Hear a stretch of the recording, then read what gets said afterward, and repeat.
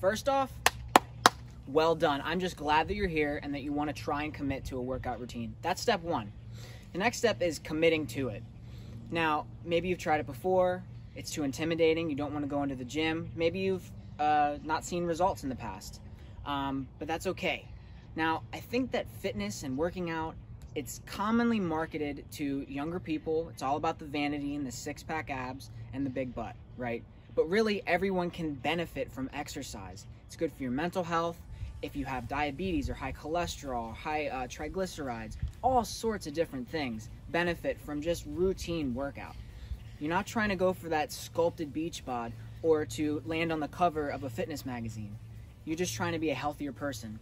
And committing to a workout routine, that's the way to do it, and sticking with it. Now, not to brag, but I recently won an eight week transformation challenge. And I've been working out since I was about 16. Uh, played sports my whole life, and um, it's always been a priority of mine to stay fit and active. But for everyone, that's not the default. And so today, I'm going to share with you three tips how to commit to a workout routine, stick with it, and get the goals that you're after. Not anyone else is after, but the goals that are important to you. All right? Three tips coming at you. All right, so tip number one make it a routine.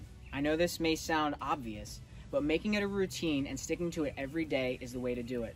Don't make it so difficult for yourself. Pick a time during the day that is most convenient for you, whether it's before work, after work, or somewhere in between. Find a time that works best for your schedule. Now, just like you routinely wind down at the end of the day with a little bit of Netflix, I want you to do the same thing with working out. Schedule it in your day. That way, you know every day from this time to this time, you're going to be working out. Tip number two is to use the SMART method S M A R T specific, measurable, attainable, relevant, and time sensitive.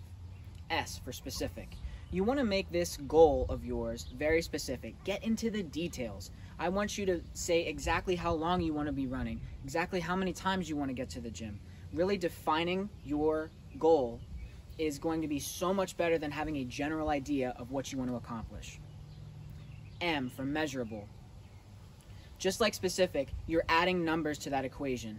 Let me give you an example. Instead of saying that you want to run sometime this week, you should say that you want to run three times for 20 minutes this week, or you want to go on a walk for four times this week. Really setting these measurable goals that have numbers to them. A, attainable. You want to make sure that you can actually reach these goals. Don't make them so difficult that you're going to fail on the way there. Nobody likes to fail, it sucks.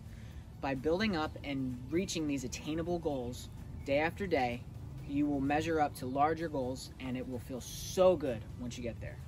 For example, if your goal is to run 10 miles but you haven't run in years, well, I'm sorry, but you're probably going to fail that and you're going to feel bad about failing. I want you to measure up and slowly build up to these larger goals. Now, R for relevant. Do it because it's important to you. Do it because it's a goal that you want to reach, not because it's a goal someone else wants you to reach. By keeping it important to yourself, it will make sure that you keep motivated on the goal at hand. And finally, T for time limited.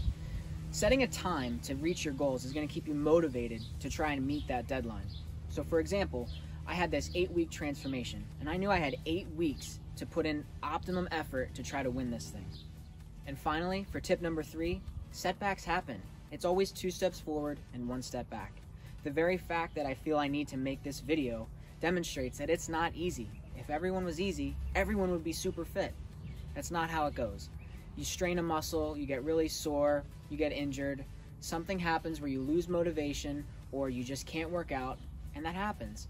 The most important thing is to recognize they do happen and move forward. A great way to counteract this is to find someone who will keep you accountable and push you when setbacks occur.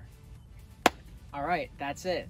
That's three tips to keep you on track and keep you committed to this workout routine. Go on the Google machine, find yourself a workout, and start applying these tips to your everyday life. Can't wait to see what happens. Let's go!